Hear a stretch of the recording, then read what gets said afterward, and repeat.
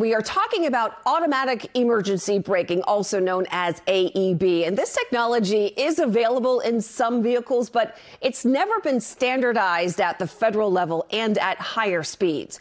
In an exclusive interview with NBC News, Tom Costello, Secretary of Transportation Pete Buttigieg, estimates that this technology will save approximately 362 lives a year, prevent 24,000 injuries, and head off billions of dollars in damage. The new standard requires all cars to be able to stop and avoid contact with a vehicle in front of them up to 62 miles per hour. And the systems must detect pedestrians in both daylight and darkness.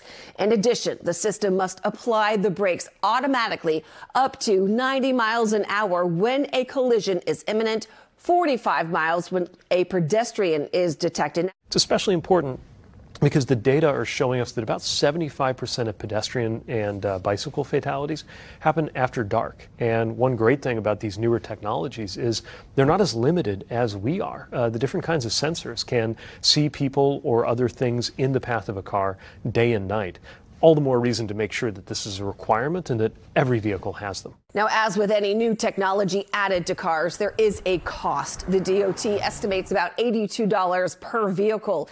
The DOT is allowing automakers a little time before this is a full requirement. However, he said it needs to be ready by the end of this decade.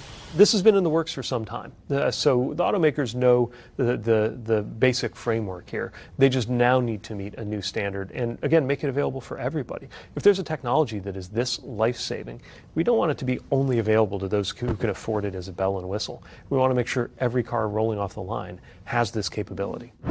What this new ruling really does is just level the playing field so that whatever AEB is in your vehicle, it will meet the new federal standards across the board.